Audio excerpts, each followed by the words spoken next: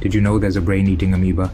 It sounds terrifying, and trust me, it really is. Let's uncover the truth about this deadly organism. Welcome to Factonic Facts. Number 1. The scientific name is Naegleria fowleri.